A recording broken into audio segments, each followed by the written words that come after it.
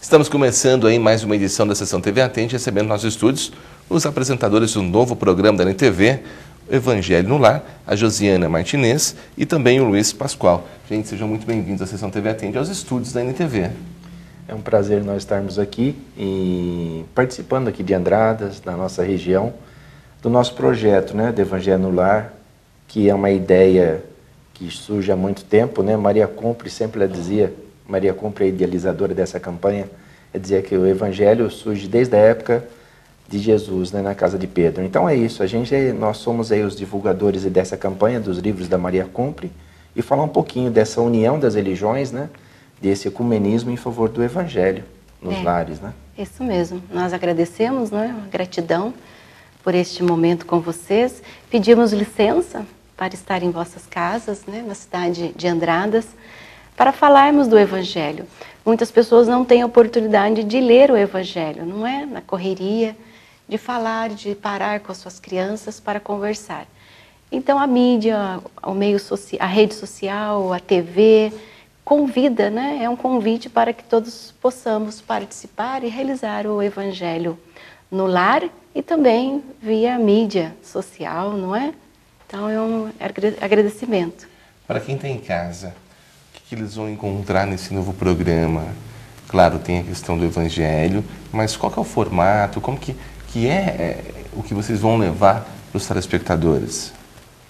No projeto da campanha mundial do Evangelho Lar, não é, que a idealizadora é Maria Compre, que trouxe isso para a nossa região, uma trabalhadora na Federação Espírita de São Paulo. Hoje ela está no plano espiritual, mas com certeza nos acompanhando também. É convidar a família a parar um tempinho do do, da sua semana, alguns minutos, para realizar o Evangelho é, incentivar a criança a ler, não é? Para explicar, fazer uma oração, vibrar por alguém, orar por, por alguém, agradecer pela semana, pelo dia, uma oportunidade das famílias conversarem. Então, o Evangelho é uma reunião familiar. Esse projeto, vocês são de, da cidade vizinha e o Espírito Santo do Pinhal residem lá já há alguns anos, começaram esse trabalho em Pinhal.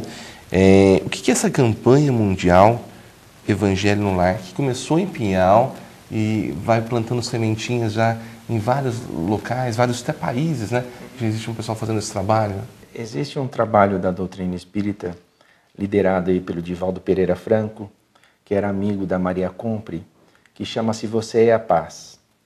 Esse trabalho Você é a Paz, que nós tivemos lá em Salvador, ele abrange todas as religiões e é feito no Brasil, em mais de 70 cidades. O nosso programa Evangelho no Lar também tem esse objetivo. É o objetivo de abraçar toda e qualquer religião, mas visar principalmente o que a Josi comentou, a união das famílias e principalmente o diálogo em família. Uma coisa que nós percebemos hoje é que as pessoas não se conversam mais. Então, para reservar aí 20 minutinhos da sua semana, se puderem fazer todos os dias, ótimo. Se não, 20 minutinhos da sua semana, para lerem um trecho do Evangelho, para conversar sobre a família, para fazer uma união e principalmente fazer uma oração. Né? Ali na entrada da TV tinha um, um, uma frase que oração é, é, não atende quando ela não é feita. Quando ela é feita, ela atende. Né? Então esse é o nosso ideal, que as pessoas se unam em torno de uma mesa, se unem em torno de um pensamento, principalmente pensamento da paz. Nesse mundo de transição, nós vimos esses dias um vídeo de Haroldo Dutra Dias, ele diz que o Sermão do Monte feito por Jesus, ele, o ponto principal era a paz. Eu acho que por isso que hoje em dia Divaldo Pereira Franco percorre o mundo com seus 92 anos para falar sobre a paz. Então, por que não a gente trazer esse instante de paz para dentro dos nossos lares, né? Esse instante de oração.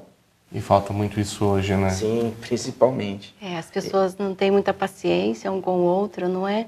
pela ansiedade, o retorno imediato das coisas, aí a falta de entendimento, o diálogo. É, o Evangelho é como se fosse uma ferramenta, porque nós falamos que o Evangelho nos educa. Então, é nos evangelizar é nos educarmos para convivermos em sociedade. Mas a primeira sociedade que se forma é no lar, não é? Muitos vão falar assim: ah, mas eu não tenho lar, eu não moro, eu não tenho um pai e uma mãe, enfim. Mas onde nós estamos, nós formamos um conceito de família, não é? Uma reunião. Não importa se você vive no abrigo, numa escola, onde quer que você viva, mas você forma uma família, não é? Nós encontramos pessoas, onde há uma ou mais pessoas reunidas, é considerado família. Então, o Evangelho é esse encontro fraterno. É, é, muito importante esse nosso encontro, esse momento de oração, de reflexão das famílias, porque hoje, diante das mídias sociais, diante dessa fase de transição que nós vivemos no planeta, cada vez mais é necessário, de novo, o diálogo. O projeto, o programa é uma coisa muito simples. Né? O que, que é a simplicidade? A simplicidade é nós recuperarmos aquilo que está na nossa essência. O que está na nossa essência? O diálogo, o abraço, o convívio, isso. Né? Independente de, de, religião ou de crença, o evangelho é uma coisa universal, como vocês exatamente, trabalham no, no, no, no programa. E, e ouvir, parar e ouvir, é um momento para se refletir, para se buscar o, o, aquele momento de paz, a, aquele encontro com Deus, ou aquele encontro pessoal, quem sabe, né? Exato. Pois é, e o Evangelho segundo o Espiritismo, né? Porque nós estamos aqui falando do Evangelho dentro de um contexto religioso da doutrina espírita. E o Evangelho segundo o Espiritismo abrange o Evangelho dos evangelistas, não é? São Mateus, São Marcos, São Paulo, enfim, é baseado na leitura sagrada. Nós temos esse respeito também, não é? Porque a religião é da humanidade, é um conhecimento da humanidade.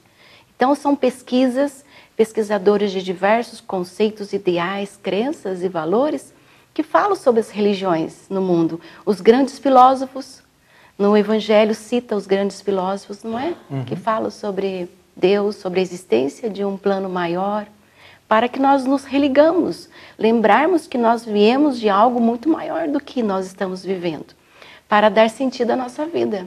Então, o Evangelho tem essa função também, nos despertar para nós mesmos, nosso conhecimento, como disse, dizia Santo Agostinho, não é? Para você que está em casa está curioso, esse programa estreia nesse sábado às 9h45, com reprise às segundas às 18h45 e às, terça às terças às 12 horas. Para quem está em casa assistindo, está curioso, tem que ligar a TV nesse sábado, né? Exato. né? Isso. É o nosso convite. Nos acompanhar, que sejamos né, bem acolhidos em vossas casas e, e que nós sejamos aí uma família fraterna, não é? Independente de não ter o contato físico, mas essa sintonia é muito importante, porque isso vai modificar o ambiente. Né? Quero agradecer a presença de vocês, desejar aí boa sorte nesse projeto e nesse programa e até breve.